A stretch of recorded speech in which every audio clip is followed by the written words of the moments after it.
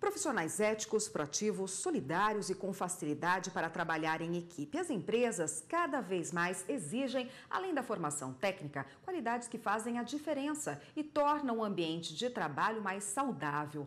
Locais onde existem muitas conversas informais que acabam gerando fofocas podem trazer graves prejuízos a pessoas e às organizações.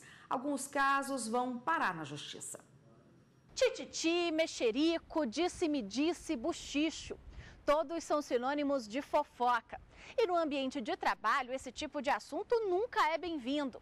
Quem fala fica mal visto e quem vira assunto quase sempre é prejudicado. Para os consultores de recursos humanos, a fofoca no ambiente corporativo não é saudável.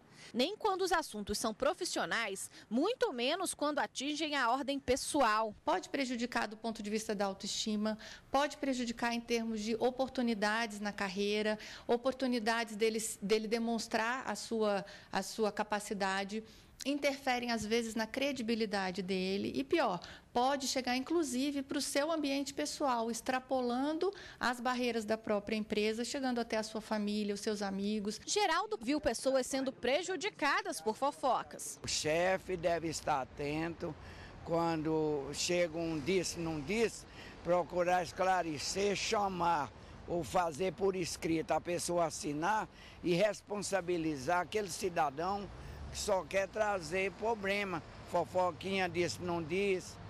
Que eu acho que aí põe as coisas em ordem. Cada um tem seu jeito de lidar com os falatórios no trabalho. Eu tento evitar o máximo, né? Eu escuto, mas eu não tento passar para outras pessoas, né? Que eu acho que é ruim você ficar assim, aí vira uma bola de neve, né? Fiz que não sei, fiz que nem ouvi. Porque se eu for ficar tomando satisfação a, todo mundo por conta desse tipo de bobagem, a gente não acaba se prejudicando, se igualando ao ser que fez isso. Para este advogado, o ideal é que o empregador resolva esse tipo de situação administrativamente. Inclusive, quem for pego propagando fofoque, comprometendo a honra do colega, pode ser demitido por justa causa. Claro que isso exige uma análise de acordo com a proporcionalidade. É? dependendo do tipo de, de, rumor que tenha circulado, enfim. E o tititi pode ser levado ao Poder Judiciário. A vítima ingressar com uma ação pedindo uma indenização por danos morais. Tá? É importante lembrar que, nesses casos, o empregador pode vir a ser responsabilizado. No salão de beleza, basta sentar na cadeira que a conversa logo começa. Aqui, elas e eles falam de tudo tanto que o cabeleireiro já se considera um terapeuta.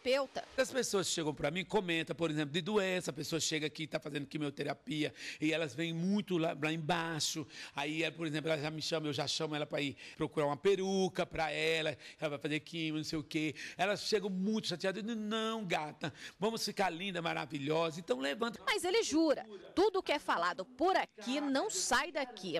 Todos os funcionários são orientados a não alimentar esse tipo de assunto. Ela sabe o que fala, aqui morre. A gente tem que ter muito cuidado e muita discrição. Leopoldo tem mais de 20 anos como taxista. Não consegue contar quantos passageiros transportou pelas ruas da capital do país.